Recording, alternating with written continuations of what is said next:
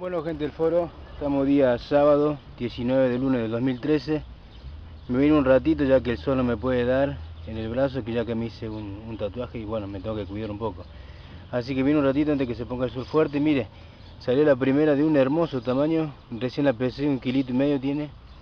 Y me sorprendió porque es la misma que saqué la otra vez, la que tiene la boca lastimada. No sé si ustedes recuerdan.